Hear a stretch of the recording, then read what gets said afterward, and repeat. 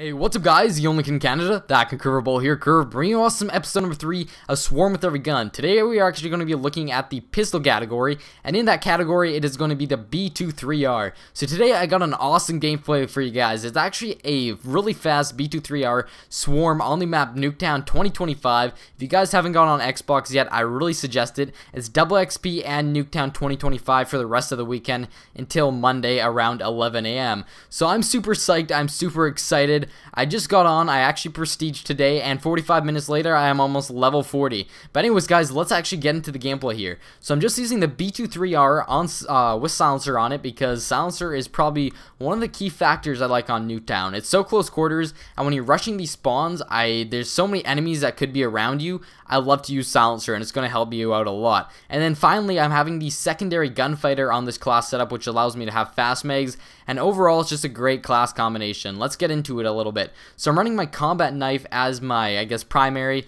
Then my perks are, I think it's Ghost and Hardline or Ghost and Lightweight and then I'm running scavenger, and then finally I'm running dexterity, and that's going to allow me to move around really fast and stay off the radar, and then I'm run running perk 1 wildcard to get that ghost and lightweight together, then I'm running actually secondary gunfighter, which I don't run a lot, and that is uh, basically allows me to have two attachments on the pistol, that's why I'm running silencer and fast mags, and then finally my kill streak loadout is basically lodestar, dogs, and swarm, and you see I pull the lodestar right off here, I think around 1 minute 45 seconds, I get really lucky there from the guy not killing me with the SVU. But anyways, guys, this gameplay is really awesome. I actually go on a around a 60 kill streak before I die.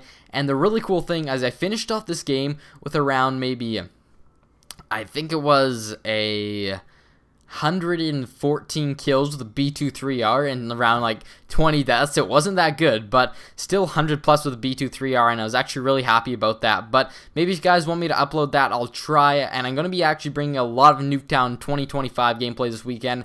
And this weekend, I'm pretty sure I might be able to get to 200 plus, so that's going to be pretty cool. But anyway, guys, anyways, guys, that's it for today's video. If you did enjoy, I'd really be awesome if you guys could smack that like button, leave a comment, tell me how you like the series, and tomorrow, or sorry, in the next episode of pistol or swarm with every gun it's going to be the executioner in the pistol category guys. That's going to be pretty exciting. I might upload it tomorrow. Have a great day guys. See you later